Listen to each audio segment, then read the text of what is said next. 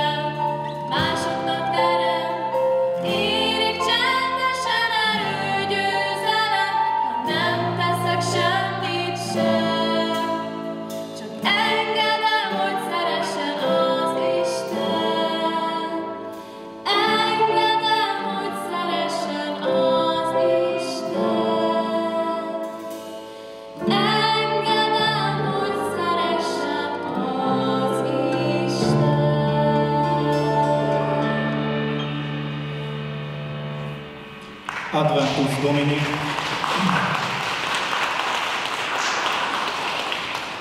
Adventus Domini, vagyis Úr jövetel, az Úr érkezésének várása. Azt mondjuk, hogy Advent a várakozás ideje. Adventben karácsonyra készülünk Jézus születésének az ünnepére. Mert hogy karácsony nem a fenyő ünnepe, nem a télapóé, nem is a grincseké vagy a koboldoké, sőt nem is a bevásárlóközpontoké, hanem karácsonykor az Isten lett értünk emberi. János evangéliumában olvashatjuk, mert úgy szerette Isten a világot, hogy egyszülött fiát adta, hogy mindaz, aki ő benne hisz, el ne vesszen, hanem örök élete legyen. A mai délelőttön mi várakozni hívunk mindenkit, mert a ma embere elfelejtett várakozni. Minden azonnal kell nekünk, ha lehet egy gombnyomásra. Minden itt, most és azonnal kell nekünk. Elfelejtettünk alázatosan és türelemmel várni. Pedig a várakozás épp attól szép, hogy vele töltjük az időt. Azzal a valakivel, akire várunk.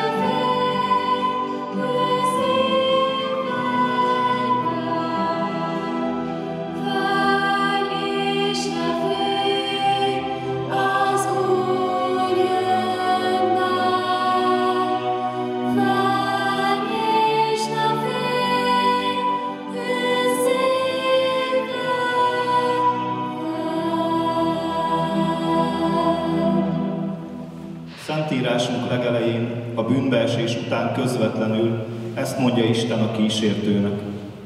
Ellenségeskedést vetek közé és az asszony közé, ivadékod és az ő ivadéka közé.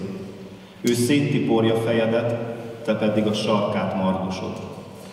Protoevangéliumként szokták ezt a részt nevezni a Szentírás magyarázók, vagyis proto, mint első, elő, és evangélium, mint örömhír. Az ős evangélium, vagyis a megváltás első ígérete ez az emberiségnek. Az ember elköveti a bűnt, elfordul Istentől, a szeretettől, és Isten mégse fordul el tőle. Akkor se, és azóta sem. Megígéri a megváltót, a messiást. A kiválasztott nép, Ábrahám népe, Mózes népe, a zsidó nép tulajdonképpen őt várja.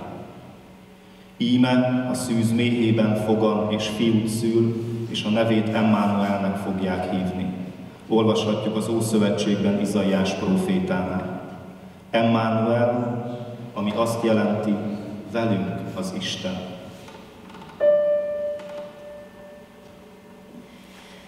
Veni, veni.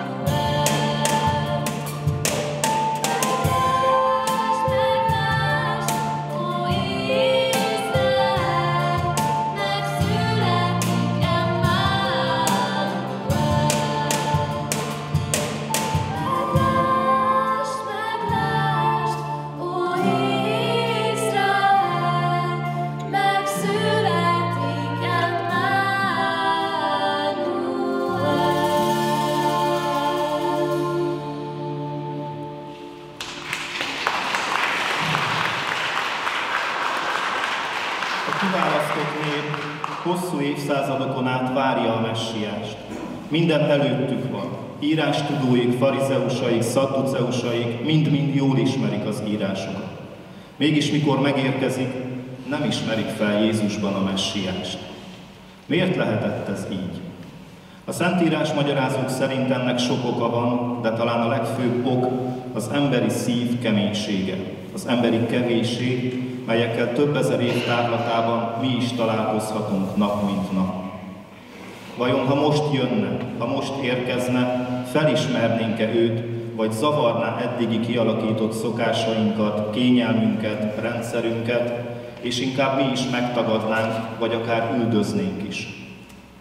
Az igaz Isten egy szülött fiát várjuk, vagy egy általunk megalkotott messiást, ahogy azt az ószövetségi nép is tette. Mi tudunk-e áldást mondani neki, érte? A 134. Zsoltárban olvashatjuk, rajta áldjátok az Urat, ti az Úr szolgái mind, akik az Úr házában álltok, Isten házának csarnokaiban. Tárjátok kezeteket a szenté felé, és dicsőítsétek az Urat éjjelente. Áldjon meg téged Sionból az Úr, aki az eget és a földet teremtette.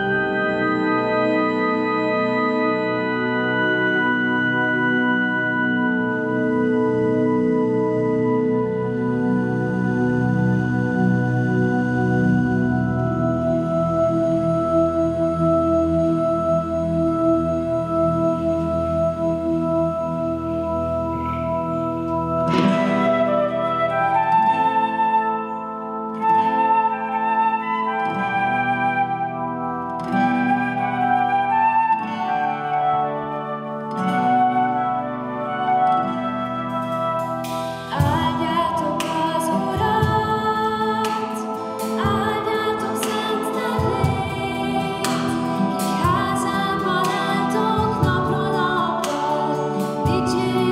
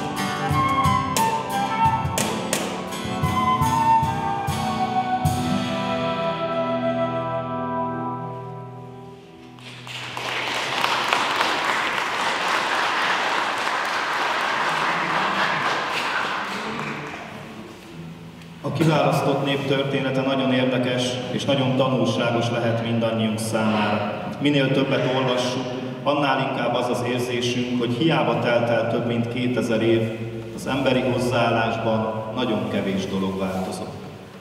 A zsidó nép több alkalommal is elfordul az egyik az Istentől, és helyette hamis bálványokat kezd el isteníteni.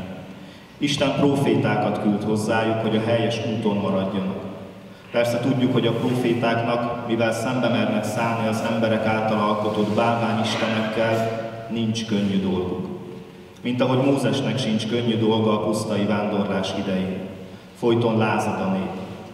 Majd amíg Mózes Istennél van, egy aranybórjút kezdenek el imádni Istenként. És Mózes, mint hithű, Istenfélő ember, úgy tűnik nem ismeri a politikailag vagy vallásilag korrekt kifejezést. Nagyon határozottan és egyértelműen állítja vissza a rendet, ahogy azt később Jézus is teszi, mikor atya házát, a templomot rablók barlangjává tették a pénzváltók, az árusok. Mindkét esetben a válasz ugyanaz, határozott és egyértelmű. Vagy a hamis bálványaink, vagy az egy igaz Isten. Izaiás profétánál olvashatjuk, én vagyok az Úr, és senki más. Rajtam kívül nincs más Isten. Bár nem ismersz, mégis felövezlek, hogy napkelettől napnyugatig megtudják, rajtam kívül nincsen más. Én vagyok az Úr, és senki más. Én alkotom a világosságot, és én teremtem a sötétséget. Én szerzek jólétet, és én idézem elő a balsósot is. Én, az Úr viszem ezt végbe,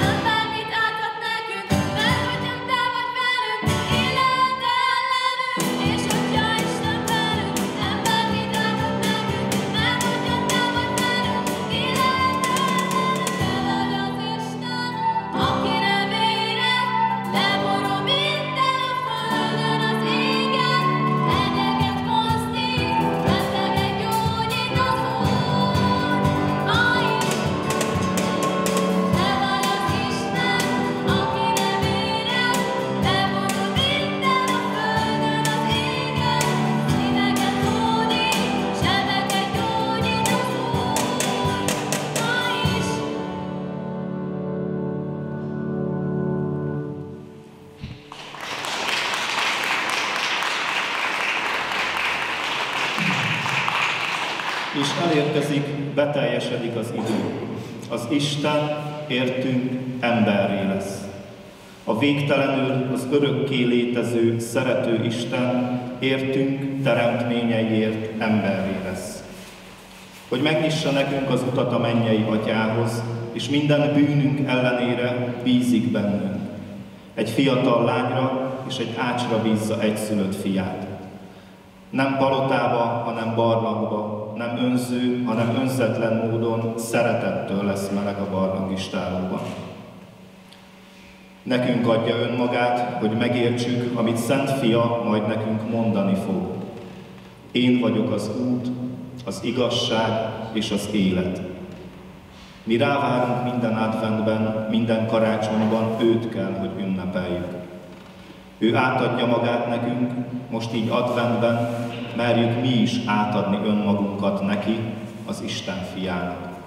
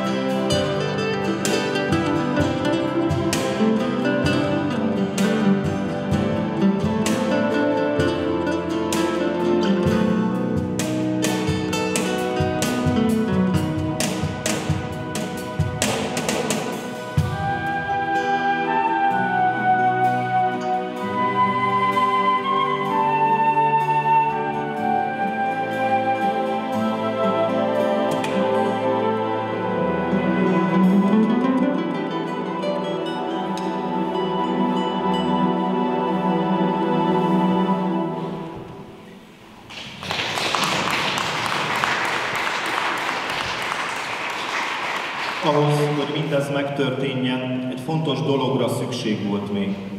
Hiszen Isten az ember szabad akaratát tiszteletben tartva mindig várja az embert, hogy hozzáforduljon, hogy nála maradjon. Mária tökéletes példája annak, mit is jelent a hit, az Istenbe vetett hit. A hit nem más, mint ráhagyatkozás Istenre. Nem tudta, hogyan lesz, mi mindenen kell átmenjenek, hogy egy barlangistálóban kell szülnie, hogy menekülniük kell szülőföldjükről, és hogy mi minden vár még rá. Egy dolgot viszont biztosan tudott. És az így szólt, íme az Úr szolgáló leánya, legyen nekem a te igéd szerint.